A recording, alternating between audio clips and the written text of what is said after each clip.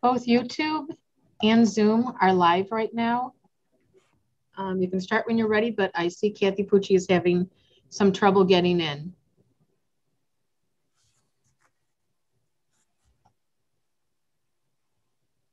Okay, we'll go ahead and start, um, and then um, we'll kind of wait a second once we um, start the meeting. So, sure. All right, I'd like to call the uh, Finance Committee meeting to order. Mary Jo, can you please call the roll? Ron Van Kirk. Here. Kathy Pucci.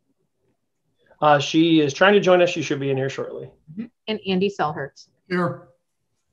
Okay.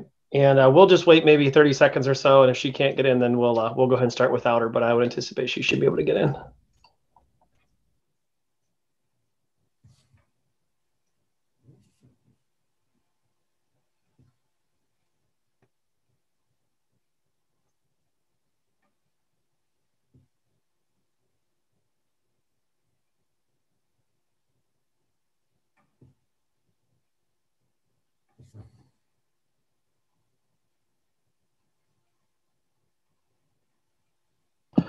Okay, maybe not. We'll just we'll go ahead and, and move forward. And when she joins us, uh, Mary Jo, if you could just let us know, and we'll we'll go I from will. there. All right, thank you. All right, the first item on our agenda this evening is the approval of minutes uh, from the April 26th uh, Finance Committee meeting. Are there any comments or questions on that?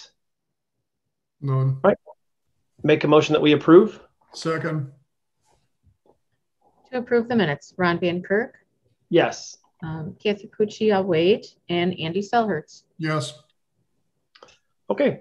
Uh, the first item on the agenda this evening is uh, Resolution 2021-16, and this is the resolution to contract with McBride Dale Clarion for uh, the zoning code rewrite, and that is at a cost of $94,000. Uh, we did have them with us a couple meetings ago to explain this. Um, everyone seemed to be on board then. Uh, Andy, any comments or questions regarding this? All good. Okay, I'll make a recommendation that council adopt then. Second. To recommend council adopt, Ron Van Kirk, Yes. Andy Selhertz. Yes. All right, the next up is Resolution 2021-17. And uh, this is the authorize the mayor to enter into a pass-through and sale purchase agreement uh, for parcel number 431-17116. And this is a real uh, small uh, portion of property uh, located on Apple Creek Drive. It's basically, you can't do anything with it, but it would be part of a potential trail in the future. And we had a discussion about this at the last meeting as well. Um, any comments or questions regarding this? None. Okay. And that is on second reading. Then next is Resolution 2021-18, and this is uh, authorizing the mayor to enter into a community recreation uh, conservation project pass-through agreement with the Ohio Department of Natural Resources. Um, again, in regards to uh, this property, uh, any? Uh, oh, I think that might be her. He's coming. All right. Any comments or questions on this as well? I'm good. Okay. All right. And that's on second reading. Uh, under new business this evening, the first item is Resolution 2021-19. Hello, Kathy. Hi, I'm here. Okay. All right. That's okay. Um, did you have any? We already voted on the minutes, but did you have any comments or questions on the minutes from the last No. meeting? Thank you. Okay. No. And then we've already discussed um, the business from the last meeting, Resolution 2021-16, uh, 17, and 18. Did you have any questions on those? That's the uh, for the zoning, and then the two um, for the land there on the uh, Apple Creek Drive. Okay. All right. Very good. No. And then we'll hold off on 2021-14, and we'll we'll do that in committee the whole. All right. Next up then is Resolution 2021-19 and uh, sister ordinance to that resolution 21 2021-20 and this is for the resurfacing of brook park road from the west corporation line near chevy to ridge road. And that's the brooklyn half of course. That's 19 and then 20 is um, the uh, agreement with the four cities for the resurfacing of brook park road from west 130th to the i-480 eastbound ramps. And um, the um, resolution discusses how the cross sharing will go, uh, but we anticipate um, applying for and receiving federal funding. At least that's the plan uh, for that. Uh, we do need to pass this by suspension of the rules this evening if council agrees, uh, just as a timing issue to get the ball rolling on this. Um, Mayor or Kevin, is there anything additionally you would need to add to this, or whoever else wants to add anything on this, or is that about cover it?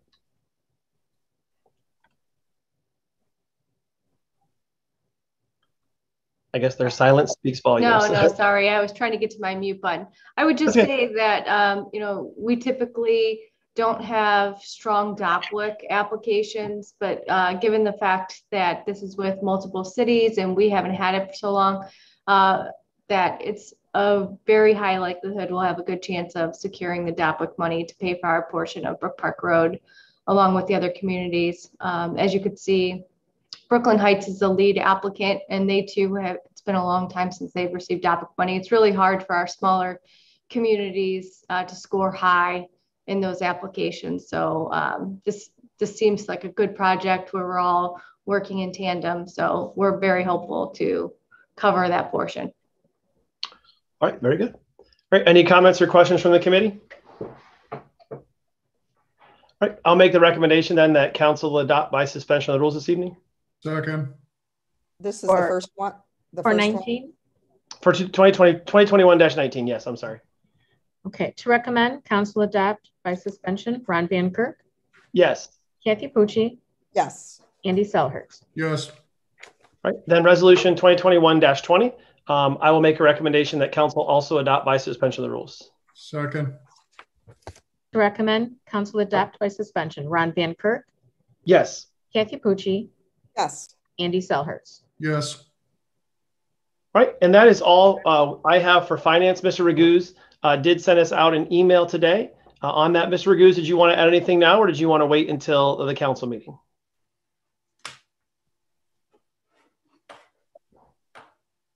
Sorry, I, I was trying to get to my mute button, just like the mayor was.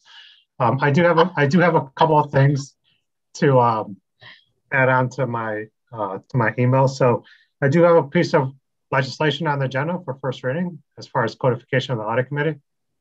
I don't know if there was any questions on that as far as formal codification. I was actually going to discuss that in committee of the whole, so Okay. all of council have a chance to discuss that. Okay, very well.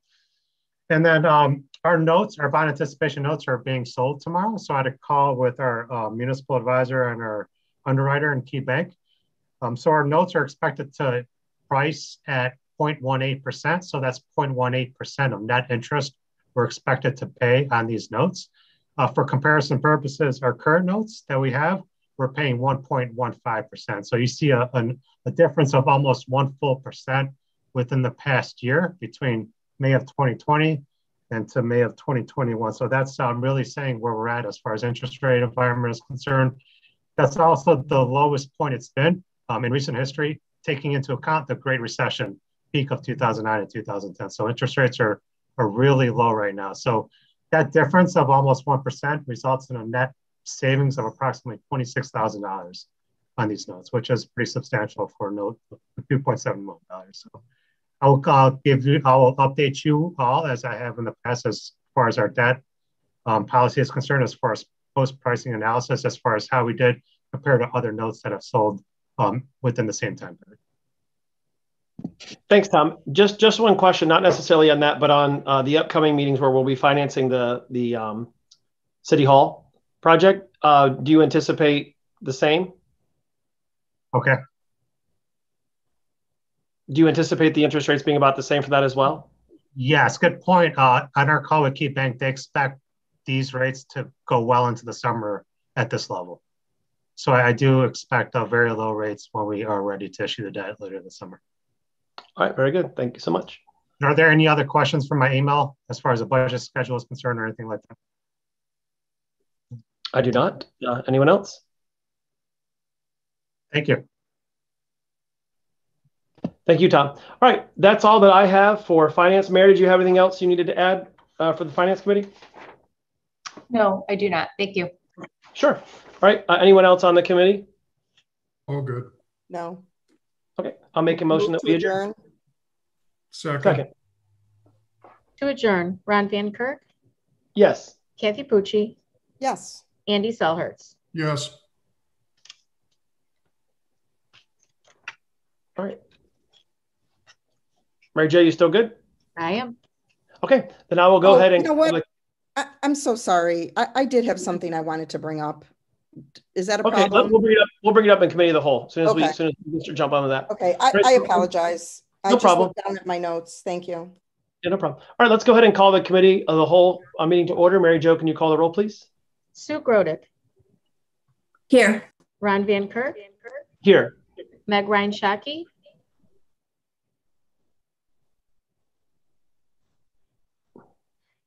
Andy Selhertz, Here. Kathy Pucci, Here, Mary Belbeer, Here. Kevin Tansky. Here. Ish, Ish is, um, oh, there she is. Meg, are you good? I'm good. Yeah, I forgot my camera wasn't on. Thanks. Oh, no problem. Okay. All right. Uh, go ahead, Mrs. Pucci. What did you have a question on? um, just a couple really fast things. Um, first of all, um, hopefully everybody read the information on the judge's ruling regarding the municipal income tax for remote workers. And I, I understand it's going to be appealed and everything, but I was just wondering if we have been in touch with our businesses recently, I guess specifically Key Bank, because from what I'm hearing, most businesses are laying out their plans for what they're going to do uh, moving forward relating to, you know, who's going to be working remote, you know, who who are they going to bring back, and they at least are working on timelines now. So I was wondering if we've heard anything specifically from Key Bank. We did. Uh, we had a discussion with some folks at KeyBank last week. Um, they do intend to come back to the office, but uh, as I explained prior uh, to the pandemic even happening, they have give their employees a lot of flexibility, and they're going to provide that flexibility going forward with probably adding one more day. How that pans out for us, uh, we're still trying to figure out, but I think it's um, good news. We heard what Jeremy already said to the rest of you that, you know, this is an owned property. So as they consolidate, they'll consolidate in this location uh, likely. Uh, nothing definitive other than, you know, there is plans to slowly start bringing back employees uh, over the course of this summer and the fall.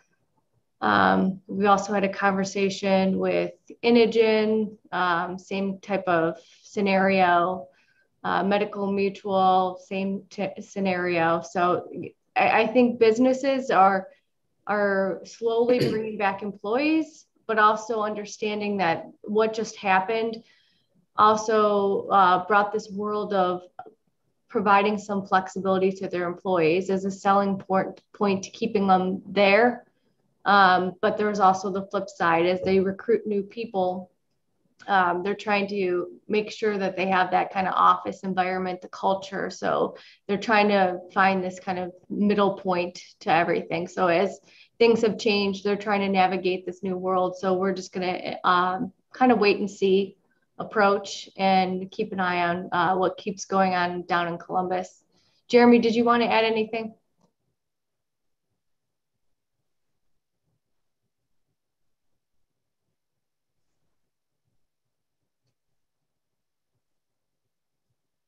No, I think you, said it pretty well.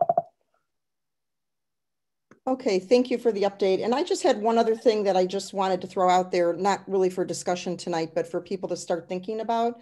Um, and that is something that's really been on our back burner um, for a while. And I'd like to see us um, figure out how we're going to move forward on it.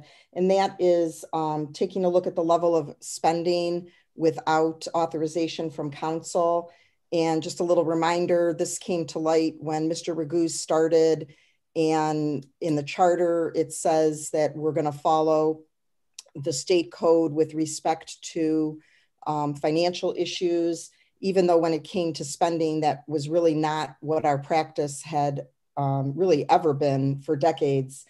And um, I, I, just was thinking that maybe um, people could give some thought to you know levels of spending that they would think is appropriate because right now we've defaulted to the state level which is $50,000 and I know you know there was discussion at the time when this was brought to light um, you know that that is a pretty high level for a city our size and the only solution is going to be to put something on the ballot but maybe if everybody could give some thought to you know what their opinions are and maybe we could make some time to discuss it either at the next finance committee meeting or maybe the committee of the whole and those were the two issues i had thank you sure and yeah kathy i'd be happy to discuss that if you could shoot me an email uh, re- reminded me, and I'll put that on the docket for the next finance committee meeting for sure. Okay, thank you. All right, thank you. Sure. Okay, we'll go ahead and get into our legislation uh, for tonight then. Uh, the first item we have is Resolution 2021-15, and this is uh, authorizing the mayor to enter the mutual aid agreement with the Metro Parks Police Department. Uh, we've talked about this in the past. Are there any comments or questions on this? All right, I'll make a recommendation that council adopt. Second, To recommend that council adopt Sue Grodick, Yes. Ron Van Kirk, Yes. Meg Ryan Shaki, Yes. Andy Selhertz, Yes. Kathy Pucci, yes. Mary Bell Bear, Yes. Kevin Tansky. Yes. All right, I'm going to kind of jump out of order uh, to give extra time to the other, the last two that we have here um, in a second. So we're going to jump to ordinance 2021-16. And uh, this is on first reading, but hope to pass by suspension of the rules. This is approving the 2021 replacement pages uh, to the codified ordinance of the city of Brooklyn. Um, were there any comments or questions uh, regarding this ordinance? Move to recommend emergency adoption? Second. To recommend council adopt by emergency Sue Grodick, Yes. Ron Van Kirk, Yes. Meg Ryan Shaki, Yes. Andy Selhertz, Yes. Kathy Pucci, Yes. Mary Bell Bear, Yes. Kevin Tansky. Yes. Okay, ordinance 2021-14. This is repealing and amending various sections of the city's ordinances to conform with the city's code and updating different classifications uh, in the collective bargaining agreements. Um, we had some discussion about this at the last meeting. And then a little bit earlier this afternoon, Mr. Butler sent out a um, substitute version of the uh, proposed ordinance. Obviously, it was sent out at 5:30, so no really on council has had, has had a chance to, to read over this. Um, but Mr. Butler, did you want to um, discuss this at all at this time? Thank you, Mr. Chair. Are you able to hear me? Yes, sir. Okay, great, thanks. Um, Yeah, th- there's no rush on adopting the ordinance. Uh, I do regret sending this to you as close to this meeting as I did. But um, suffice it to say, nothing must happen tonight. I sent out a version that reflects uh, a few changes from the original version that is on tonight's uh, public docket. And I did upload the substitute version to BoardDocs so that members of the public uh, are able to take a look at it as well. The substitute version's changes from the original are highlighted in yellow uh, in the version that I sent out today. And there are just four substantive changes uh, from the original version. Section four of the original version had dealt with a section of the codified ordinances that dealt with police personnel and the number of um, uh, members of the police department, including sergeants and lieutenants. You had uh, very recently updated that section to provide for the addition of lieutenants to the department and also to take out some gender specific language in that section.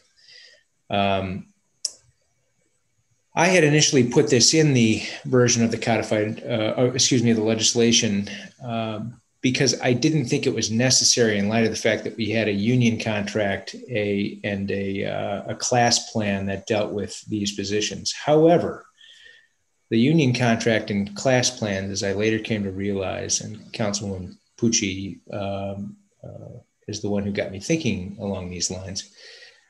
Uh, those additional pieces of legislation approving of the union contract and the class plan did not provide for the caps on the number of personnel that this ordinance provided for.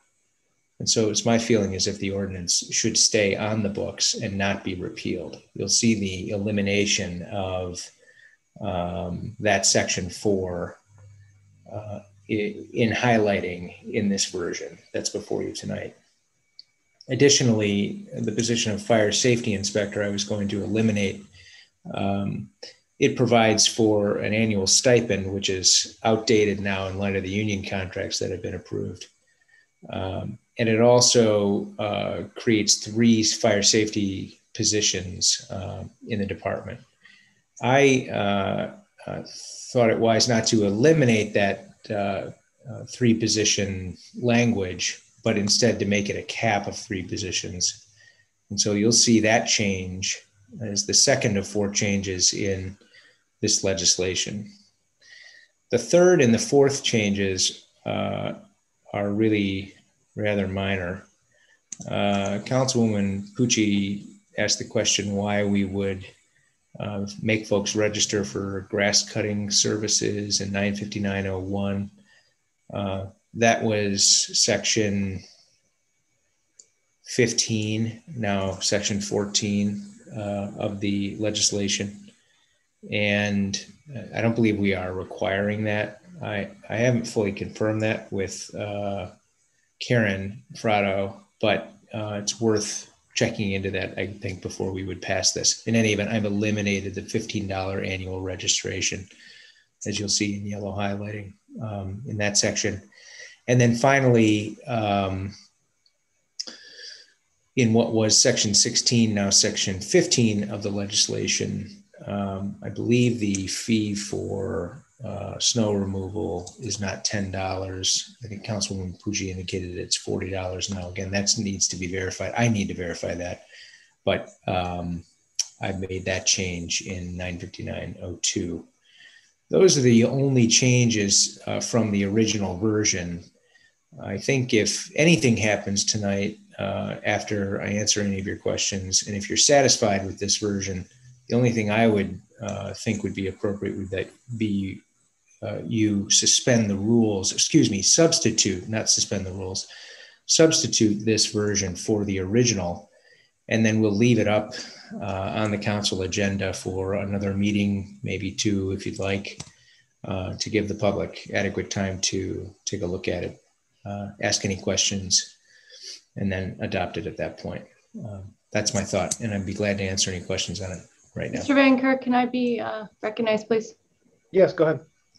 Uh, you know, I have a issue, and unfortunately, the uh, fire chief is not here. But no more than three uh, positions as the fire safety inspector. Right now, all of our lieutenants act as that, so I, I think we have to be careful with that language.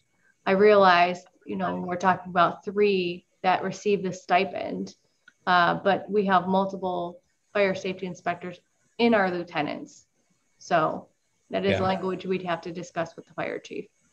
That makes sense. So if this, yeah, so if this uh, provision is really meant to limit the number of people who are paid in that way, then I think we need to be pretty careful about the language of it. Um, and if it's if it's meant to be a cap on the people who act in that role, then obviously, as the mayor suggests, um, we need to account for the people who are in other positions who act as fire safety inspectors. That's a that's a good point. May I be recognized? Yes. Um, just so everyone has a, a clear understanding of um, how this came about, and I thank Mr. Butler for working on this. Um, per the charter, council is the one or the body who establishes um, positions and numbers of employees and their pay. So my question was, um, you know, why would we be eliminating um, those couple provisions? the, the intent of the fire safety inspector um, was in the past how many people were being paid. I understand that um, lieutenants can act in that capacity, but it was, was a limit. And I personally, you know, if if we need more of them, I don't have a problem with that. Um, it's just I think it's good to to keep the limits because that is under council's purview on how many positions, how much they're paid, etc. And um, I did mention to um, Mr. Butler, we actually did have a situation where um, there was a situation quite a quite a while ago with the police department, um, basically having too many officers than what was provided for in the existing ordinance. So I just didn't think it was a good idea for us to totally eliminate what comes under council's purview. And as far as the grass cutting, um, my question wasn't the um, the fee. It's we're not providing that service to our residents. So I was just wondering, should we take that out of the um, the legislation because we're not providing? I know you corrected the title for the senior services coordinator or senior center coordinator, but we're not providing that service at this time. So I just think it's something we have to think about whether we're going to keep it or not. Thank you. Yeah, my thought certainly is if we're not providing a service, there's no reason to have it ordained. So it may make more sense just to eliminate the uh, section altogether. Right. Any other comments or questions? All right, uh, Kevin, my recommendation would, I'm sorry, go Go ahead. Who was it? No, go ahead. Um, my recommendation would be, Kevin, because there's still a couple of items that we're we're not 100% sure of, and um, we want to clarify. My recommendation would be to, to go ahead and take the next uh, couple of weeks before our next meeting to go ahead and clean uh, clean up any any questions and such, and then at that meeting we can read those, we can amend it, read them into the into the um, in the meeting, read it into the ordinance, and then it can go for one more meeting and then we can pass it the next time if if the rest of council is okay with that. I, I just what I don't want to do is read everything into the record and then come back next time and have to do it again because we made you know a change from forty dollars to thirty dollars or whatever it may be. So that that would be my recommendation. Sense. And I was going to make a motion that we recommend uh, holding it in abeyance until our next regularly scheduled council meeting. Okay. Yep. We can make the rec- yeah we can just make that recommendation when we get to the uh, council meeting. That's just fine. That'd be great. All right. Um, so forgive me if I don't understand this 100%. So, Mayor, you're when you're talking about the safety inspector, um, so what, what this is supposed to say is that three, no more than three people will be paid for doing this position, and you're saying there's more than three people that do it. You know, I just got this updated legislation from Kevin right before the meeting. Um, I'm going off of what he's saying verbally. So um, I'm just telling you how it's actually performed right now. Okay. All right. Well, that'd be another thing we can clarify whenever we, yeah, but no hurry. Okay. Well, Mr. Mrs. Chair, uh, Mr. Yeah, Chair, if I, if I could just clarify one thing, and the mayor's correct. She, she, like you, got this just before the meeting. Um, the, there are, uh, there are supervisors within the fire department who are trained as fire safety inspectors and can do that work. There are regular firefighters who are trained as fire safety inspectors who are not supervisors who get paid extra to be fire safety inspectors.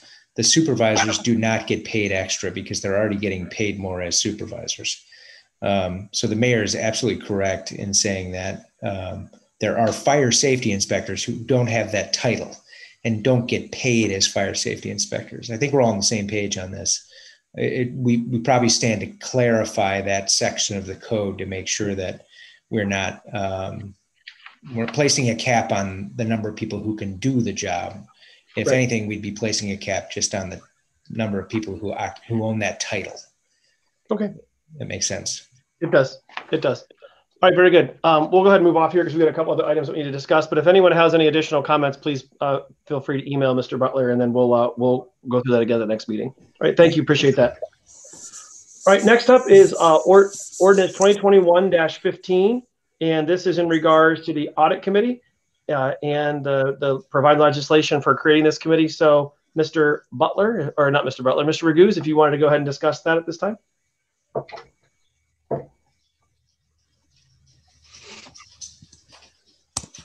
Sorry, that's two for two now.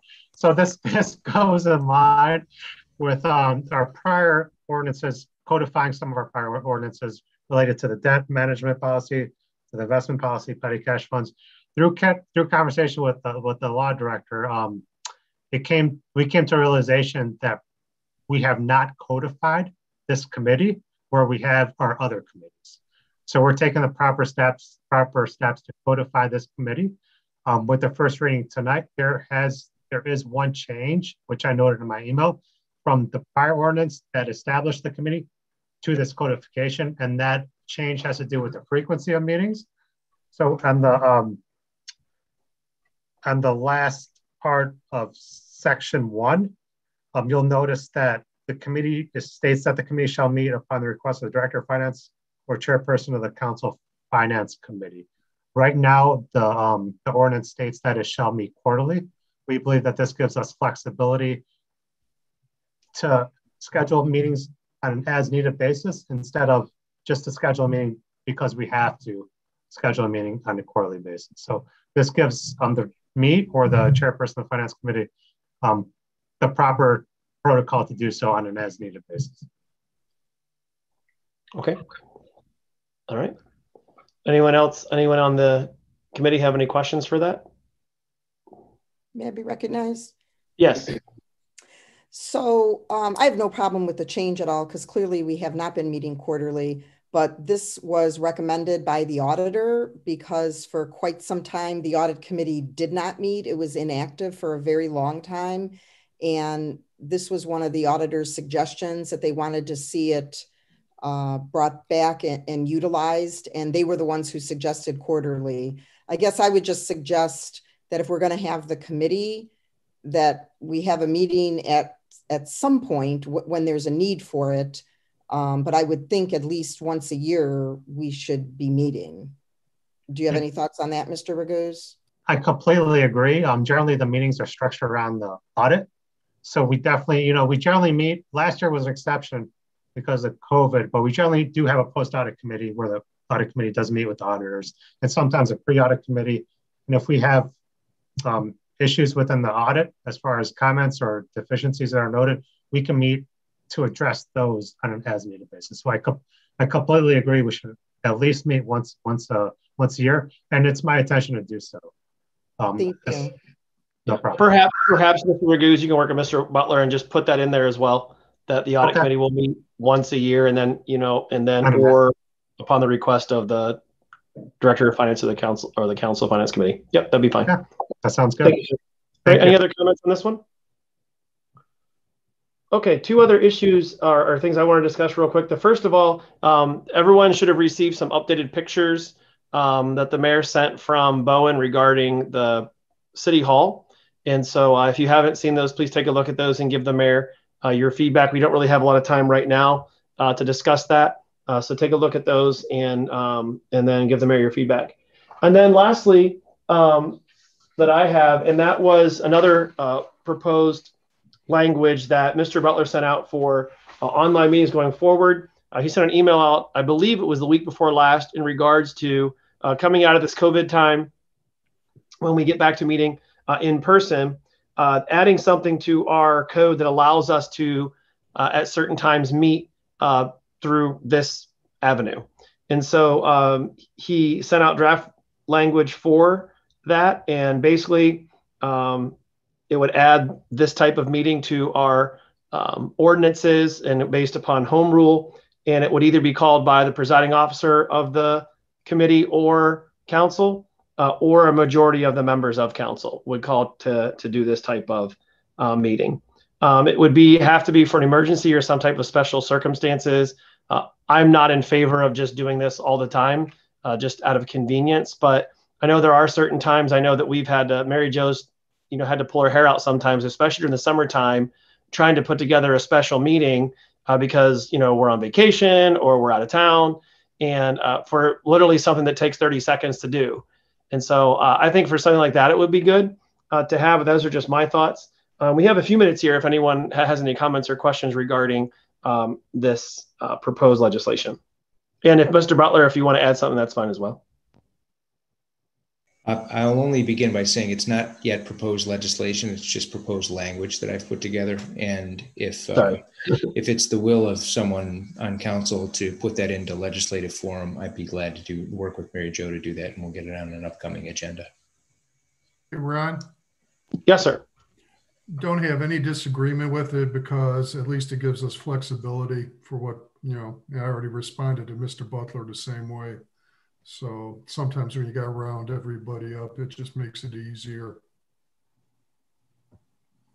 Yeah, and, and I mean, technology has obviously changed um, since these this legislation was originally introduced. Zoom was not in, exist, in existence when this legislation was introduced, and so um, you know, obviously, in-person meetings are best uh, for our regularly scheduled meetings. But for special circumstances, I, I don't have a problem with it either. May I be recognized? May I be recognized? Um, so I sent an email out to everybody. I think it was sometime last week. Um, I explained that I had contacted Mr. Butler, and I, in my opinion, I think we have we should have something in place just in case. I think if, you know, we really learned last year that anything is possible. And um, I appreciate your work on this. And um, Mr. Butler, if you could please draft it up, I'm more than happy to introduce it. Any other comments or questions from anyone regarding this? I was just going to say, I, I, definitely agree with what you said, Ron, especially about special meetings in the summer or even, you know, needing to add a meeting uh, in between two already scheduled meetings. It's just sometimes, you know, if you plan a vacation well enough and ahead of time, you go on those off weeks. So it gives us the flexibility to have a quorum or even have everyone join who otherwise wouldn't be able to. Okay. All right, sounds good, Mr. Butler. Yeah, if you want to go ahead and put that together, we'll uh, perhaps add that for our next meeting. That'd be great. We do. we do need to do, if we want to do this, we obviously have to have something done. I think it's June 23rd is whenever um, the current the current law expires. So the emergency law expires. So obviously we want to have that done before then. So, all right. Thanks. That's all that I have uh, for committee of the whole. Um, any mayor or any of the directors have anything they to add? Minutes. Nope. I have, oh, go ahead, Ron, do your minutes, and I have a couple things. I always forget that, Mary Jo. You even texted me too to remind me. I me. know. All right, so um, we'll go ahead and um, discuss the minutes to our approve. last meeting. Okay, second, To approve the minutes, Sue Grodick, Yes. Ron Van Kirk, yes. Meg Ryan Shockey, Yes. Andy Selhertz, Yes, Kathy Pucci, Yes. Mary Del Yes. Kevin Tansky. yes, Thanks. All right, Mayor, go ahead. Thank you. Uh, just a few things. Uh, I the building commissioner job uh, posting had closed. I only received two applications. Uh, this is a conversation for our next Northeast Ohio mayors and managers meeting. Uh, just the lack of building commissioners out there. We are currently using Safe Built as our CBO, and we're going to stick with them a while. What I don't want to happen is just to pick somebody to pick somebody. Um, I think it's important that we have high quality staff working here. And, you know, if I only have two options on the table, um, it doesn't really give me a great look at what's out there. And I, you know, frankly, I don't think the resumes that I received were um, of the highest quality as well. So I am going to wait a little while. Uh, things are uh, being managed okay with Safe Built. Things are getting done. Uh, we'll see if there's some solutions that are brought up with maybe sharing with another community or looking at other opportunities there. Also, I sent you guys out an email about broadband data. Um, I do have a meeting with the superintendent in the county Thursday. As you could see, there is a void in Brooklyn on the south. Um, there are cities that were identified as part of this look at the county. Brooklyn was one of them. Uh, thankfully, it was just one section of our city, but I want to take advantage of the opportunity of the county wanting to fund uh, broadband and the expansion with this. So um, that's why I reached out to the superintendent because his particular infrastructure would allow for the community to do that one to one and a half mile outreach um, that we're looking for in the South. Uh, next, you might have saw on social media, we swore in another officer, Frank Sidoti. The chief is also uh, looking to hire another person off the lateral list if possible. It is a long process as well as he's going for another test. We do have retirements that are coming up. So this is going to be a constant process and we want to stay ahead of it. Uh, we do have, we're filling the grant um, that we, the COPS grant that we received with Frank Sidoti. So we've uh, completed those numbers and um, we're again looking at possibly one more off the lateral list and um, starting that new test in the summer, which as you know, takes a long time to get results and then hire. So uh, staying ahead of everything. And then the last thing, uh, Jeremy, Jeremy and I met with the County Planning Commission about the Brook Park streetscape. Um, they're currently in the, uh, the conditions um, point of it, the current conditions of Brook Park Road. A lot of stuff was on Brooklyn because of the flooding and um, zoning and everything like that. So uh, the next step that they're moving forward with is doing a survey to the businesses along that corridor. And this should be a process that speeds up hopefully a little bit more over the summer. So uh, we get to some of the recommendations um, far in advance from when Brook Park is paved. And that concludes my report. Very good. Thank you, Mayor. Anyone else? Any other directors? All right. Anyone on the committee? All right. I'll make a recommendation that we adjourn. Second, To adjourn, Sue Grodick, Yes. Ron Van Kirk, Yes. Meg Ryan Shockey, Yes. Andy Selhertz, Yes. Kathy Pucci, yes. Mary Balbier, Yes. Kevin Tansky. Yes. All right. We'll come back in about five minutes and start our council meeting.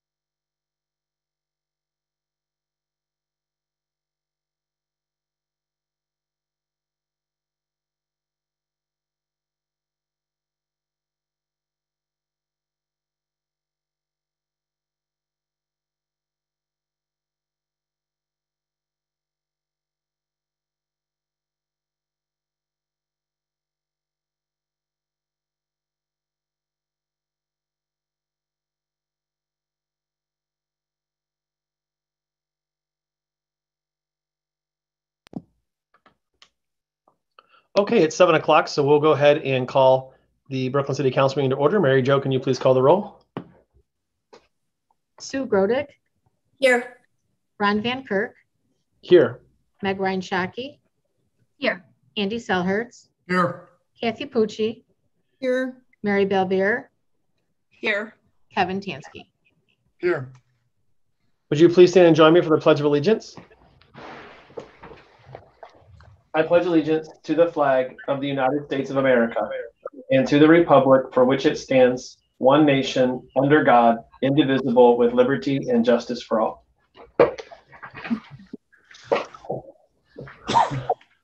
At this time, I will turn it over to uh, Mrs. Meg Ryan Shockey uh, for her opening. Good evening. Mental Health Awareness Month. According to Mental Health America, the COVID 19 pandemic has had a profound impact on the mental health of people of all ages. Now more than ever, it is critical to reduce the stigma around mental health struggles because that stigma often prevents individuals from seeking help. I want to dedicate today's moment of silence to everyone who is struggling with mental health and those who are helping their friends and family that are struggling. Know that you are not alone and it is okay to ask for help.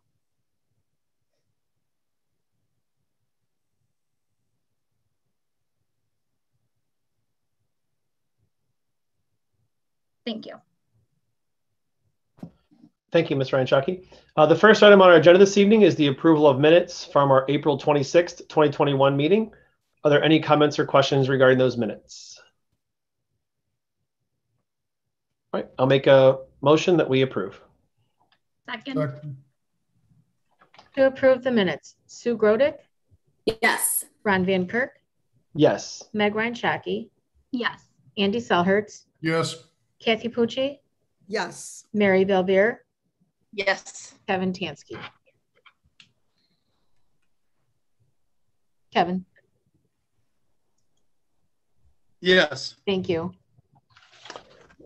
Okay, at this time, we'll have the public session. Mary Jo, were there any emails sent in for the public session today? I had nothing when I left. Okay, very good. Thank you. We'll now move on with reports of committees, commissions, and boards. We'll begin this evening with the Finance Committee. We did meet at 6:15 prior to our council meeting, as always, and we discussed the following. Up for third reading and adoption is Resolution 2021-16. This authorizes the mayor to enter into a contract with McBride Dale Clarion for consultancy services related to the studying and drafting provisions of the zoning code following the city's adoption of the master plan. And uh, the committee did recommend that council adopt this. This cost is $94,000. Resolution 22, 2021-17, authorizing the mayor to enter into a pass-through and sale purchase and development agreement with the Cuyahoga County Land Reutilization Corporation for the purchase of um, parcel number 431-17116. This is off of Apple Creek Drive. We, again, we talked about this last week. It's a small sliver of property on there that's essentially worthless. Uh, it would be used for any future um, construction of trails that would uh, be in that area. And then resolution 2021-18, authorizing the mayor to enter into community recreation conservation project pass-through agreement with the Department of Natural Resources in regards to that previous resolution. Uh, new on the agenda this evening was resolution 2021-19 and a sister ordinance resolution 2021-20. Uh, the first of which is for the resurfacing of Brook Park Road uh, from the West Corporation line near Chevy Boulevard to Ridge Road, and that's the the half that's in Brooklyn. And then 2021-20, this is authorizing the mayor to enter into a joint improvement agreement with Brooklyn, Cleveland, Parma, and Brooklyn Heights for the resurfacing of Brook Park Road from West 130 to the I-480 eastbound ramps as part of the ODOT's urban pavement resurfacing program. And the resolution breaks out the percentage cost that the city of Brooklyn would cost. We are um, applying for federal funding through a grant for this, and we do anticipate receiving those funds. We'll see. Uh, but it, if that goes through, the, the cost to the city of Brooklyn will uh, not be anything that will be covered by that grant. Uh, and that is all uh, that we had for finance. Again, it takes place at 6:15 prior to all regularly scheduled council meetings. At this time, we'll move on with the Recreation Board. Councilman Tansky. Thank you. City of Brooklyn has some upcoming free events. May 26th, Sandlots, the movie. June 9th, music by the band Flipside. June 23rd, music by the band Fogology. July 7th, the Diamond Project Band. July 21st, Spies in Disguise, the movie. August 11th, Chardon Polka Band. August 25th, Diary, Diary of a Wimpy Kid long haul movie. September 8th, music from Becky Boyd and the Groove Train. Driving movies will be in St. Thomas More parking lot, 7 to 10 p.m. Registration required. The concerts will take place at the Grand Pavilion behind the City Hall, 7 to 9 p.m. Please bring your own chairs, blankets, snacks. Social distance, social distancing required. Mask will not be required, must stay within your group. The next recreation, board meeting will be held May 17th in the rec center meeting room at 7 p.m. And that concludes my report. Thank you, Mr. Tansky. Next up is our legislative update, Councilwoman Balbier.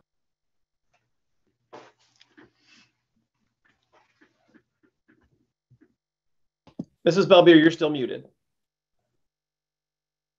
Sorry. New legislation has been proposed in Ohio that would impose stricter penalties for debris that comes out of a vehicle and injures others or damages other people's properties on the roadway. The new legislation comes after an investigative reporter, Ron Regan, with WEWS in Cleveland, was involved in a rollover crash caused by an unsecured mattress that flew off a vehicle and into the roadway.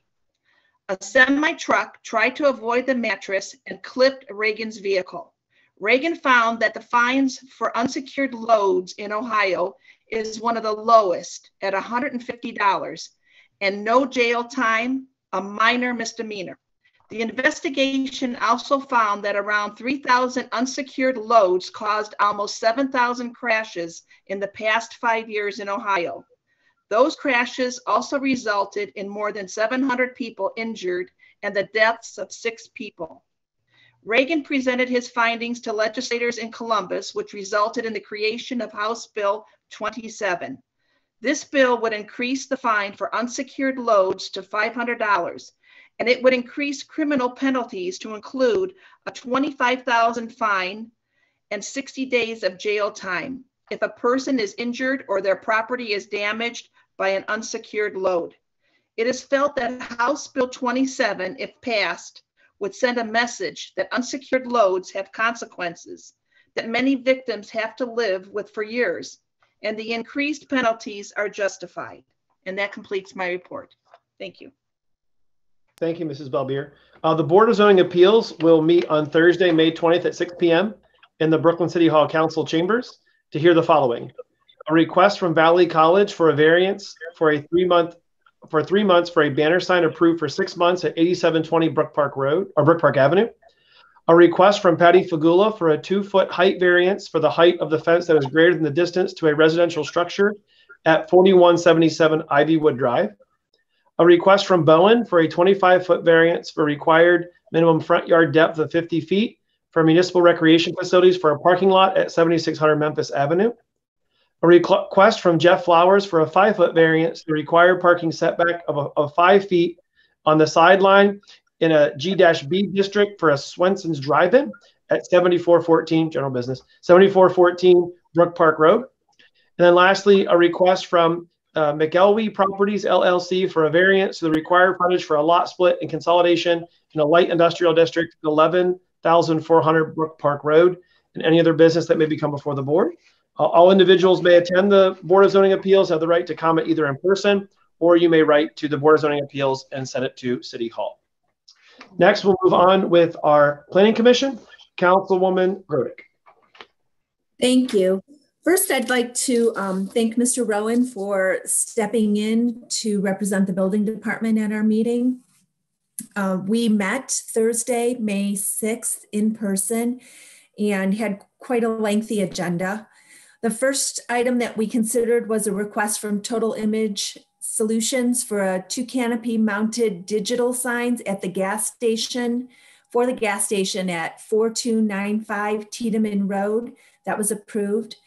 Um, a request from Blink Signs for a sign package for Red Crab Juicy Seafood at 4754 Ridge Road was approved. Um, a request for a universal sign system for a sign package at GFS um, at 10820 Brook Park Road was approved. That's the, to update their signage. Um, a request for McLee Properties LLC for a lot split and consolidation at 11400 Brook Park Road was approved pending the um, engineer's approval. We had a few questions about it. Uh, there two that were together was a conditional joint use request for a car wash in a retail business district for Clean Express Auto Wash at 4630 Ridge Road and a request from Jason Fenton for a preliminary site plan approval for the same business and address, Clean, Clean Express Auto Wash at 4630 Ridge Road was deferred. Um, we received some last minute changes in their plans and uh, felt we needed to think about it, look it over a little bit closer. So it was deferred to next month and a request from Jeff Flowers for preliminary site approval for Swenson's Drive-In at 7414 Brook Park Road was approved. And the last one was a request from Bowen for final site approval for the new city center at 8000 Memphis Avenue was approved. Um, the next Planning Commission meeting will be Wednesday, June 2nd at 6 o'clock. We're moving it back to Wednesdays. At this time, the plan is that we will be meeting in person in City Council chambers.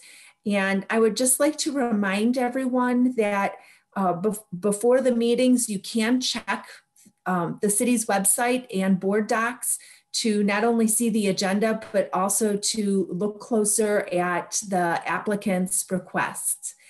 And uh, that concludes my report. Thank you. Thank you, Mrs. Grodick. Next up is our school board liaison, Councilwoman Balbier. Thank you. It is the school's intention to go back to regular pre-pandemic schedule next school year. They will accommodate remote learning for grades 9 through 12 through their new Brooklyn Digital Learning Academy. Any students in grades K through 8 requesting remote for medical and COVID-19 related reasons will be serviced through a third-party platform. For these students in grades K through 8, K through 8 remote learning will look very different. The school will have a new principal at the PK through 7 building, Mr. Johnny Bolin, who comes from the Berea City Schools District, and we welcome him. Some of the end of the school year dates are Senior Award Ceremony, May 12th at 6 p.m. Prom, May 28th at 7 p.m., located at the Windows on the River. Graduation, Sunday, June 6th at 2 p.m. at the Brooklyn Stadium. The rain dates are June 7th and June 8th if needed. And lastly, the last day of school for students, Monday, June 7th. And that completes my report. Thank you. Thank you, Mrs. Balbier. Uh, the committee of the whole met following the finance meeting prior to our, our regularly scheduled council meeting to discuss the following. The first item uh, was resolution 2021-15, and this is authorizing the mayor to enter into a mutual agreement with the Cleveland Metro Parks Police Department, and the committee uh, unanimously recommended that council adopt. Next, we discussed uh, ordinance 2021-16. This is approving the 2021 replacement pages to the codified ordinances of the city and uh, that was also my suspension of the rules. That was also uh, unanimously recommended that council adopt. Then we discussed uh, ordinance 2021-14. This is repealing and amending various sections of the codified ordinances of the city of Brooklyn in order to conform our code to the updated classification and collective bargaining agreements. Uh, we are going to make a motion to uh, hold this item in abeyance this evening. There were several changes that were made and a couple more that still need to be made. And so Mr. Butler will work on those uh, and have those changes for us at the next meeting, and we will read those into the record uh, at that meeting. And then uh, the last ordinance we discussed was 2021-15, and this is enacting section 13507, the audit committee uh, of the ordinance of the city of Brooklyn, in order to codify prior legislation creating the committee. Uh, previously, the committee was supposed to meet per the ordinance once a quarter. Uh, there was no need for that, nor was the meet, the committee actually meeting that often. So this language will change that to meet at least once a year, and then as needed, uh, directed by the finance committee or the chair of the finance committee. We also had a brief discussion uh, regarding um, online meetings going forward, as far as uh, once we get back to our regularly scheduled meetings at City Hall, uh, there will be uh, legislation introduced more than likely at the next council meeting regarding allowing for these types of uh, remote meetings um, on an as needed basis for emergencies or uh, special meetings. Um, and of course, the legislation will um, allow, uh, will require that all these meetings be um, uh, publicly announced and also that um, there's be access just like these meetings are as well. And then um, that was it. That's all we discussed in the committee of the whole. Again, uh, that meeting does take place prior to all regularly scheduled council meetings immediately following the uh, finance meeting. And at this time, then we will have the reports of council. We begin this evening with Mrs. Grodick. Thank you. Mr. Van Kirk, I have a correction to make. Um, the mayor pointed out that on the planning commission, the first item was actually deferred. The total image solutions for the two canopy digital mounted signs for the gas station at 4295 was deferred because they were not um, in appearance. They thought our meeting was going to be another Zoom meeting. So if I can make that correction, thank you. Very good, thank you. Sure. Um, Mrs. Balbier mentioned some exciting things with her school report. It does seem like things are returning um, to maybe a little bit normal as we end our school year. And I just wanted to take a moment of personal privilege to recognize two longtime Brooklyn school employees and people who have deep, deep roots in Brooklyn. They will be retiring this year. Um, the first one is my dear friend and colleague, Mrs. Mary Ellen Ryan. Mrs. Ryan has lived the bulk of her life here in Brooklyn. She was a St. Thomas school girl and then a St. Thomas school teacher before joining the Brooklyn staff, where she taught third grade and then most recently second grade. And um, I was able to work closely with her as a first grade team leader and then as her colleague on her second grade team. Um, I'd just like to recognize her 44 years in education, and uh, we all wish her a wonderful retirement, well deserved. Um, and my second recognition is for our dear friend on council is Rob Rob Kelber. Rob surprisingly announced his retirement, but then when you added up the years, he's been around a long, long time also. Rob taught has taught at Brooklyn High School for 24 years, if you can believe that. Um, but he was able to add some extra time on because he was a, a Brooklyn Rec employee starting at the young age of 16. So altogether, he has 30 years of public service under his belt already.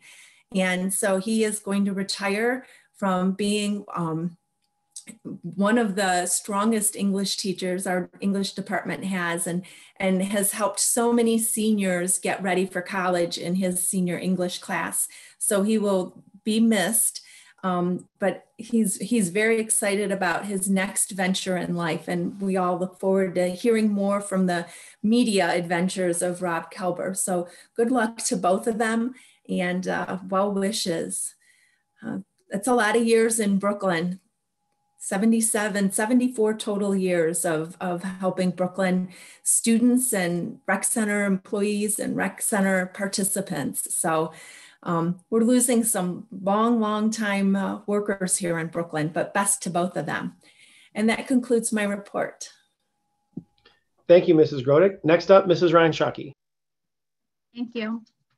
Keep Brooklyn Beautiful is kicking off our official community cleanups this Saturday from 9 till 11. We'll be meeting at Ridge Park Square by the medical building behind uh, by Texas Roadhouse and Marc's over there. You can register online at volunteer.kab.org or by contacting myself or Councilman Sel Selchert. I can be reached by text or phone call at 440 391 4832 or email at mryanshockey at brooklynohio.gov. We look forward to seeing new and returning faces this weekend. I also want to take a moment to thank Lieutenant Eschweiler for putting together the training. Um, I don't know uh, how many saw, but it was also in the cleveland.com and uh, the Plain Dealer.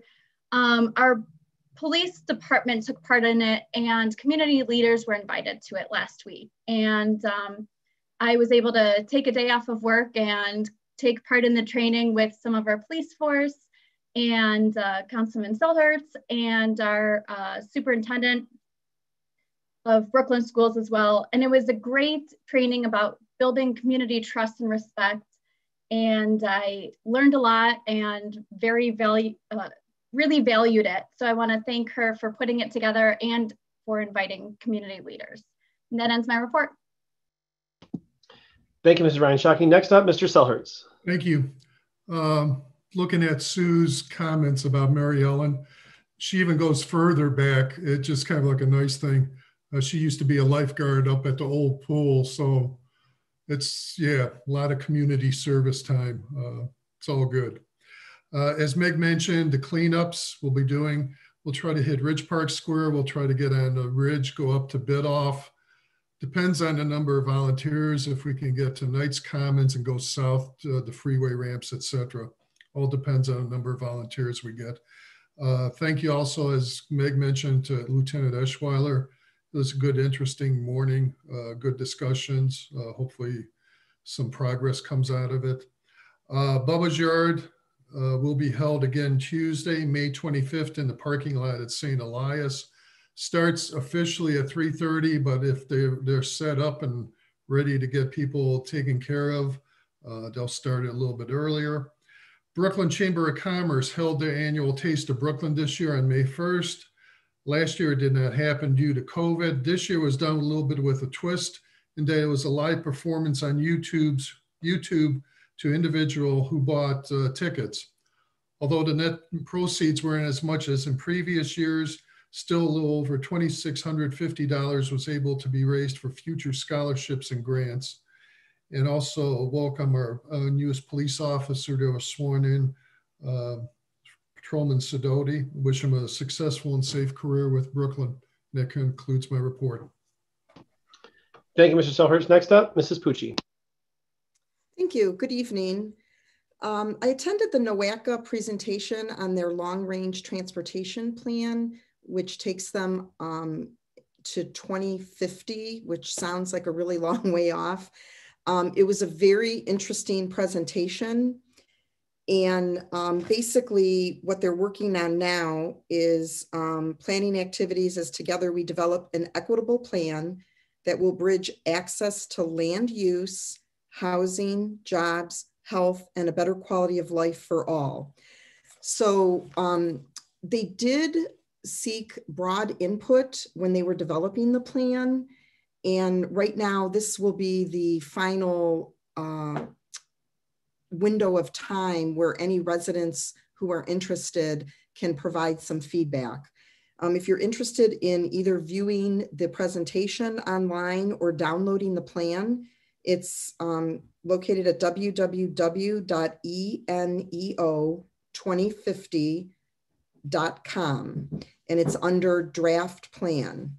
Um, there are numerous ways that people can provide feedback, email, US mail, phone, or their online portal. Um, their uh, email address is noaca, N-O-A-C-A at mpo.noaca.org. And their phone number is 216-241-2414. And, you know, one of the things, there was a lot of really good information, but one of the things that resonated with me was when they were talking about equity and some examples they gave, or, or one example they gave was regarding residents who rely on public transportation to get to their job. And when they started looking at this serious issue, because there's a very high percentage of people in Cleveland who do not have cars. And if you lived in certain neighborhoods, by taking public transportation to your job, you could get there in an average of 30 minutes.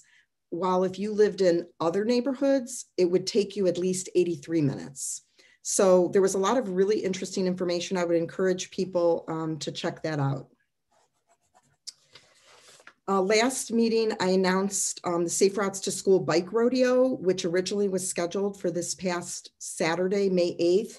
Unfortunately, there was a scheduling conflict and that had to be rescheduled. So the new date is Saturday, May 22nd from 9 a.m. to 12 p.m. in the school uh, parking lot. And as I mentioned at the last meeting, you have to pre-register for this because we are staggering when people arrive in order to have a COVID safe event. Um, there'll be, it's a bring your bike and helmet and there's a bicycle skills course. You can see different safety vehicles and say hello to our safety forces. There'll be a DJ, uh, preschool and kindergarten registration information, safety town information, and of course, um, the raffle to win a bike. One difference is, um, in addition to having to pre-register, pre-registering is how you will register for raffle tickets also. And instead of the raffle for the bikes to be held after the event, which would um, result in a, like too many people mingling too close together, the raffle is going to be held after the event and then people will be notified. And um, the 22nd annual Big Creek Watershed Cleanup will be Saturday, June 5th, 9 to 12 noon. And the location in Brooklyn is behind our fire station at 8400 Memphis Avenue. Masks are required and social distancing practices will be observed. Please wear long sleeves and pants. Boots or work shoes are recommended, no open toed shoes. Bags and work gloves will be provided, and children under 18 must have adult supervision. I wanted to share some information on um, a recycling project we have. I'm finishing up the Certified Public Managers Program at Cleveland State, and one of the requirements is a capstone project. So I chose to address contamination in recycling, which is a serious issue for cities. Um, it has resulted in some cities having to curtail their recycling efforts, and in some cases, um, actually having to eliminate um, their recycling, curbside recycling, that is. Um, there are also a lot of cities who charge residents for trash removal, and I do not want to see that happen in Brooklyn. But unfortunately, this is resulting in um, not only operational differences, but also rising costs. So for example, in Brooklyn, we received a very nominal amount of money for our recyclables. And now starting in 2020, we now have to pay $52.75 a ton, which last year was about $37,000 to dispose of our recycling. So we received a grant from the Cuyahoga County Solid Waste District and we had a pre-audit of our recycling, which took place on April 27th. We took 1,200, a 1,200 pound sample of our recycling, and this was random. It was all dumped down at the garage. And we actually, though the small group we had, we actually handled 2,400 pounds because we had to double handle everything. Once we took the random samples from the large pile of recycling that was dumped, had to put it on a table, and then we had to sort it. And we sorted it into the different types of recyclable materials and then the different types of contamination. And I can tell you, it was really shocking. Um, we just received the report, and I know Mr. Verba and I were a little surprised. We were expecting that we would do a little bit better, but based on the sample, our recycling contamination rate is 38.1%. So the next phase of the project is going to be an education initiative. All residents will receive an oversized postcard, which will contain information on the issue, why it's important for us to address it, and a little bit more information about the project. So please pay special attention to this. We'll also have some email blasts and news release and social media posts. And then beginning June 14th, we're going to start monitoring for contamination, and there will be a lot more information coming about that. At the end of the eight week program, we'll then have a post audit of the recycling, and hopefully, we'll see an improvement and the level of contamination in our recycling will be reduced. Um, I would like to thank Lieutenant Eschweiler. I was not able um, to get off work. I had some commitments that day that I could, or actually both days that I couldn't get out of. Um, so she sent me some of the information from the presentation. And congratulations to Mary Ellen Ryan. I know what a wonderful, devoted teacher she has been for so very long in our community. And, you know, there are just so many people who, you know, adore her and really loved having her for a teacher. And also to Rob Kelber, um, I feel a special tug um, on his retirement. I actually have known him since he was a teenager at the rec center. I basically watched him grow up um, as he uh, had different positions of with higher levels of responsibility um, through the time he worked at our rec center and all the innovative programs that he initiated there. Um, and he also has been very devoted to the education of our children in our community. I know he has, you know, mentored a lot of students. He did a lot of extra things in having, um, teaching them media and of course the English, um, which is so very important as whether students go to college or go into the workforce. I know that he was a stickler with that, and students who came out of his classes were very well prepared no matter what path they chose. Um, through some of the projects he worked on over the years, I was able to get to know some of his students. And, you know, I can't tell you how many have said, oh, he was my favorite teacher, my favorite teacher in high school. And he really deeply cared about the students and the type of education they got. So I wish him all the best in his retirement. And I'm looking forward to hearing about the next chapters in his life. And that completes my report. Thank you, Mr. Tansky. Thank you. Good evening. There have been more and more complaints about the conditions of the sidewalks throughout our city. I just got a couple more calls tonight. I have addressed the sidewalk issue before, and with the warmer months fast approaching, I would like to voice my concerns again. As more and more people are getting outside for recreation, we need to get these sidewalks up to par, as many of them have been heavily damaged by the large trees on the tree lawns, causing the sidewalks to buckle. This has become a major safety concern for many of our residents who use these sidewalks in their daily lives and they worry of tripping and falling. The Brooklyn Sidewalk Program, which I implemented a few years ago, helped resolve some of these issues. We need to come up with a resolution and get them fixed. So I'm asking the mayor, I know money's always the issue, if you can get with our director Verba because I know he has a, a long list and see what we can do with these sidewalks throughout the city, at least get our crew to start in some of the, especially some of the really bad sidewalks where they really dropped or lift and see if we can start leveling them off because putting asphalt and ramping them it, to me is just not the way to do it. We're going to have to get down, take these slabs up, cut these roots and lay those slabs down or reconcrete because um, some of these sidewalks are really, really in uh, really bad shape. So Mayor, if you could, um, in your report, I'd appreciate it if we can address on where we can go with this. I would really, really appreciate it. And that concludes my report. Thank you, Mr. Tansky. Uh, just one thing, I know it's a day late, but I did want to wish all the, the mothers in uh, here on council, the mayor as well, and all those in the city of Brooklyn a happy Mother's Day. Uh, I know it's a day late, but still always good to honor our moms when we can. All right, and with that, I will turn it over to the mayor. Oh, Ron, you forgot Mary. Mary, I skipped you. I'm so sorry. That's Happy Mother's okay. Day.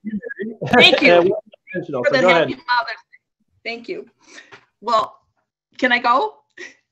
Yes, first of all- I'm, I'm, I'm very sorry. I've been having computer issues and uh, that's my fault. So I, I apologize. Go ahead. That's, that's fine. I, I'd like to welcome also our new police officer, Francesco Sadati. Um, God bless him, protect him, and welcome to our wonderful police, uh, uh, Brooklyn Police Force. I'd also like to congratulate our longtime uh, residents, Denny and Diane Esper. They have a grandson named Zac Lowther, and um, he made it to the first start for the uh, for the Baltimore Orioles. And he's a pitcher. He's a southpaw, and um, and hopefully he'll have a successful career. But th- they're so proud of him, and that's some of Brooklyn's own here. Um, I'd also like to uh, wish our wonderful teachers there at Brooklyn, uh, uh, at our Brooklyn school. I don't think I know um, Miss Mary Ellen uh, uh, Ryan. I do know Robert Kelber. He comes from, um, you know, longtime Brooklyn residents, or mom and dad. Uh, he's just such a wonderful young man. I, I always thought he was so young looking. He looked like student to me, but I, I better be quiet, uh, being a teacher and everything. But uh, I wish him a, a happy retirement and nothing but but well wishes for for him and for uh, Mary Ellen. I'd also like to thank Councilwoman Pucci for all her research in this recycling program. It's just amazing how Kathy, how you came up with all that and how you learned all that and you're able to share it with us. It's it, to me, it's fascinating and kind of at some point disappointing when you hear it. So uh, thank you. I'd like to thank you for that. And lastly, I had an issue, um, a a phone call from a resident that was concerned about an animal issue. Now, this is the mating season for all those critters around our house. So, you know, the raccoons and all those uh, groundhogs and, and scary creatures that are out there and skunks and everything. Um, the city does not provide uh, traps. That was one of the calls I got. And um, in order to um, to trap, you're better off calling our animal, and she's a wonderful woman. I did talk to her, our animal control uh, gal, and she's very helpful. She'll give you all the information, and she'll recommend who can help you if you need to trap, you know, somebody to come out and trap the animals around you. But don't take a chance and do that yourself. You're not allowed to do that.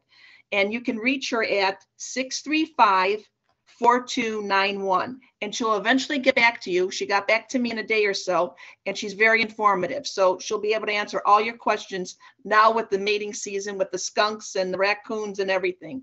And um, and that completes my report. Thank you. Thank you, Marion. Again, I apologize for that. Oh, that's all right. It's All right, Marion, go ahead. Thank you, Council President Van Kirk. I hope all of you mothers out there had a wonderful uh, Mother's Day. I know the weather wasn't that great, but it was a good day to cuddle up and watch a movie with your kids. And that's exactly what I did. So uh, took advantage of the cold weather, even though I was desperately hoping it would be nicer. Uh, but it looks like it's going to be nicer in the couple weeks ahead. So some things to look forward to. I want to thank the chief and Lieutenant Snap and Eschweiler for inviting me to the police training. Um, I think it was recapped pretty well by some council members, but you know, I think it was a great opportunity just to open dialogue. And that's what we can ask for from our officers to just be honest and hear honest feedback from the public. I know in the Thursday meeting that I was in, uh, hearing from a couple members of our business community public, they had some terrific stories to give unique perspective coming from the other side and then vice versa, hearing from the police officers. So uh, I look forward to that continued dialogue. And I think that dialogue is what helps make our community stronger. And thank the police for all of the community policing that, that they've done over the last few years. Uh, as far as the sidewalks, uh, Mr. Tansky, I'm assuming that you reported the problem issues to Mr. Verba. Uh, I'm sure you're also aware that the city has been repairing sidewalks as part of our road program.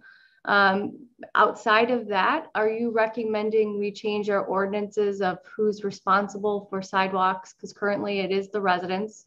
We have taken um, the opportunity to fix where our city tree caused the issues. I'm not sure if you're talking about sidewalks everywhere or just where the trees are. So I think uh, a further dialogue would be um, probably better offline so we could actually talk about the extent of your complaints And the number, um, I'm not aware that John's too far behind. He could correct me if I'm wrong on that. So um, maybe we could turn it over to him after I'm finished uh, with my report if he does not have a report. And then I sent City Council an email today that RTA with their jack or their next gen um, is are changing the uh, bus lines. We currently have two main lines through Brooklyn, the 45 and the 79. Uh, and the numbers are changing. So, you know, this was a concern of mine when we met, but they're actually uh, adding frequency to the Ridge Road line. So it is not minimizing the lines, it's just making sure that they're servicing where the high density stops are.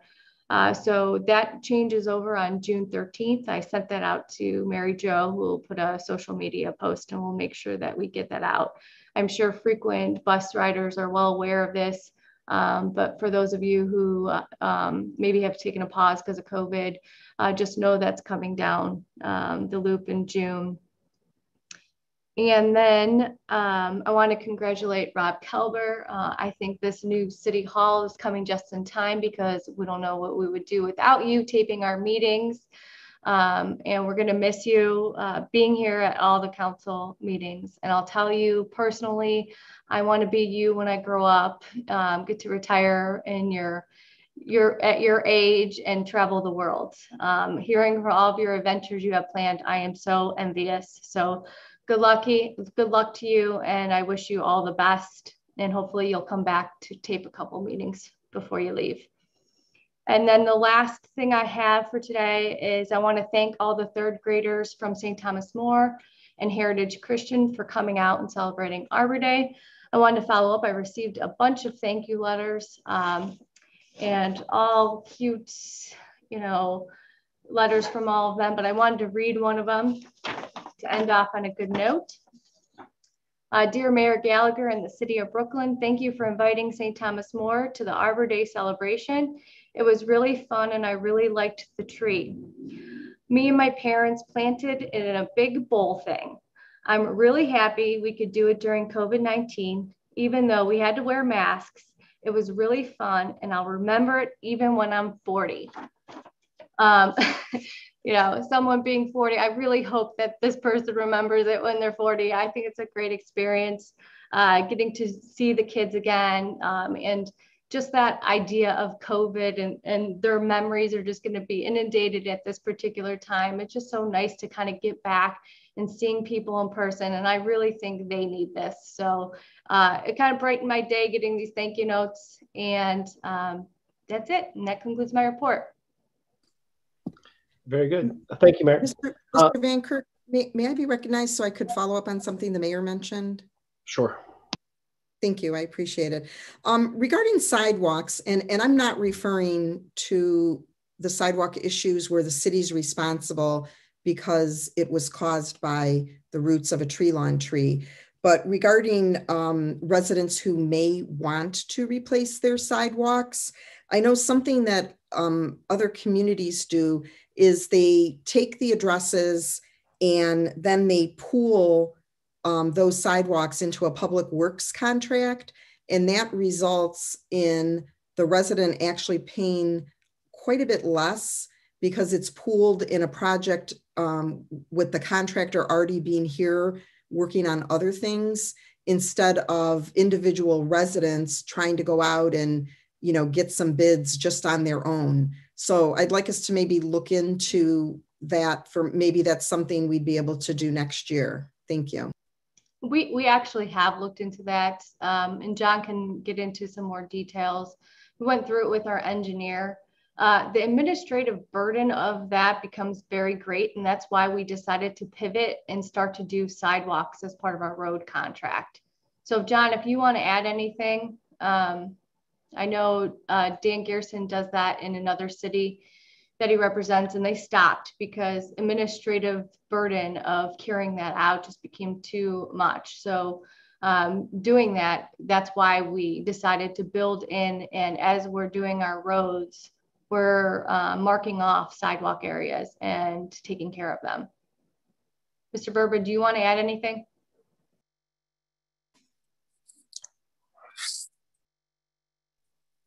Can you hear me?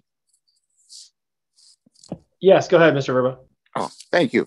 Uh, not, I mean, Mr. Tansky called me last week, said there was, you know, he when he was out um, walking, that he he saw a lot of sidewalks that were not uh, up to par. I didn't actually receive any addresses. Um, usually, there's like a, a two to four inch margin where then um, we'll put them on a list. Anything below that, um, we'll just kind of ramp. Um, right now, this past uh, spring, we've been inundated with working with the rec. We had to do a lot of work for, the rec center. Um, we also had over 15 water openings that we have. We haven't even begun the concrete crew on working on our capital project at Service Garage. Um, and we only do have two guys um, in our cement on our cement crew. So um, the mayor uh, brought up a great plan to do the sidewalks as we do our street program. So we're kind of staying on top of that. I think last year we replaced over 120 sidewalks as part of the program. And this year we will continue to do that as well. Um, it's just going to take time, and to prevent a trip hazard, we will we usually ramp them until we can get to them. All right, thank you, Mr. Verba. At this time, we'll move on with our legislation for this evening. Uh, the first item on our agenda is Resolution 2021-15. That is authorizing the mayor to enter into a mutual aid agreement with the Cleveland Metro Parks Police Department. Are there any comments or questions on that? I'll make a motion that we adopt. Second. To adopt, Sue Grodick, Yes. Ron Van Kirk, Yes. Meg Ryan Shockey, Yes.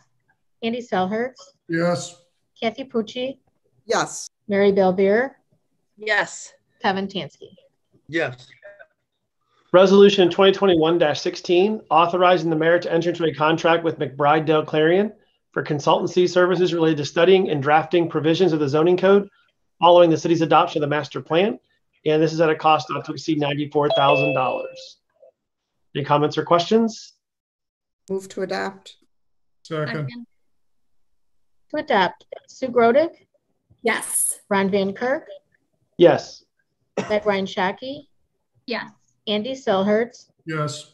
Kathy Pucci, Yes. Mary Balbier, Yes. Kevin Tansky. Yes. The next two resolutions are on second reading. Resolutions 2021-17, authorizing the mayor to enter into a pass-through and sale, purchase, and development agreement with the Cuyahoga County Land Reutilization Corporation for the purchase of certain real property known as Apple Creek Drive, uh, a V slash L Apple Creek Drive, permanent parcel number 43117-116, and declaring an emergency. Resolution 2021-18, authorizing the mayor to enter into a community recreation conservation project pass-through agreement with the Ohio Department of Natural Resources. Uh, I will now make a motion on ordinance 2021-14, repealing and amending various sections of the codified ordinance of the city of Brooklyn in order to conform the code to the city's up-to-date classification plan and collective bargaining agreement. I will make a motion that we hold an abeyance until our next meeting. Second. To hold an abeyance, Sue Grodick, Yes. Ron Van Kirk, Yes. Meg Ryan Shockey, Yes. Andy Selhertz, Yes. Kathy Pucci, Yes. Mary Balbier, Yes. Kevin Tansky. Yes. All right, the next two resolutions are on first reading, but we hope to pass by suspension of the rules. Resolution 2021-19 for the resurfacing of Brook Park Road, State Route 17 from West Corporation Line near Chevy Boulevard to Ridge Road, half, the Brooklyn's half in the city of Brooklyn. Introduced by all, suspend the rules. Second. Second. To suspend the rules, Sue Grodick, Yes. Ron Van Kirk, Yes. Meg Ryan Shockey, Yes. Andy Selhertz, Yes. Kathy Pucci, Yes. Mary Balbier, Yes. Kevin Tansky. Yes. To adopt, Sue Grodick, Yes. Ron Van Kirk, Yes. Meg Ryan Shockey, Yes. Andy Selhertz, Yes. Kathy Pucci, Yes. Mary Balbier, Yes. Kevin Tansky. Yes. Resolution 2021-20, authorizing the mayor to enter into a joint improvement agreement between the municipalities of Brooklyn, Cleveland, Parma, and Brooklyn Heights for the resurfacing of Brook Park Road from West 130th to the I-480 eastbound ramps as part of ODOT's urban paving resurfacing program. Any comments or questions on this? Introduce by all, suspend the rules. Second? To suspend the rules, Sue Grodick, Yes. Ron Van Kirk, Yes. Meg Ryan Shockey, Yes. Andy Selhertz, Yes. Kathy Pucci, Yes. Mary Balbier, Yes. Kevin Tansky. Yes. To adopt, Sue Grodick, Yes. Ron Van Kirk, Yes. Meg Ryan Shockey, Yes. Andy Selhertz, Yes. Kathy Pucci, Yes. Mary Balbier, Yes. Kevin Tansky. Yes. Ordinance 2021-15 is on first reading, enacting section 135.07 Audit Committee of the Codified Ordinances of the City of Brooklyn in order to codify prior legislation creating that, that committee. Then our last piece of legislation is ordinance 2021-16. This is on first reading, but we'll hope to pass by suspension of the rules. Approve the 2021 replacement pages to the Brooklyn Codified Ordinances and declaring an emergency. Are there any comments or questions regarding this ordinance? Introduced by all, suspend the rules. Second.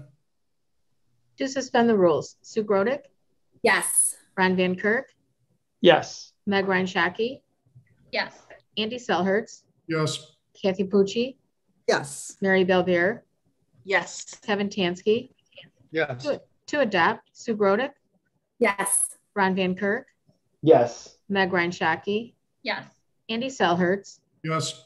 Kathy Pucci, Yes. Mary Balbier, Yes. Kevin Tansky. Yes.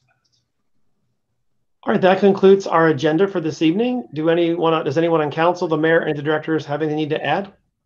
Yeah, Ron, can I be recognized? Yeah, go ahead. I just want to get something cleared up on those sidewalks. Sidewalks that I'm mentioning are the ones that our city trees have lifted these slabs. That's the issue that that's that I have. Now I understand when they do the roads, they're going to try to do some of these sidewalks, but there are areas, and I, and I will start writing heavy addresses down where I see them. Maybe not. I believe John said four inches they might be three or whatever it may be. It's just going to get worse. If a sidewalk is lifted two or three inches, that sidewalk is not going back down to an inch or leveling out. That sidewalk's going to get worse. And not only is it going to get worse, but those roots are heading to the sanitary sewers. So it's it's not it's just not one thing and I know we got a contract with the county to clean those lines out, but every sidewalk we lift, we cut those roots and lay those things down. That's the less problems that the resident's going to have of those roots heading into their front yard, damaging other stuff. So it does more than just one. So I just want to clear that up that I'm only looking, and I know there's a lot of sidewalks that are decaying, but I understand it's on the residents. Um, on the residents' responsibility to get them sidewalks uh, redone, new concrete put in. But the um, lifting of those slabs is where I was um, emphasizing on. That concludes my report. All right, thank you. Anyone else?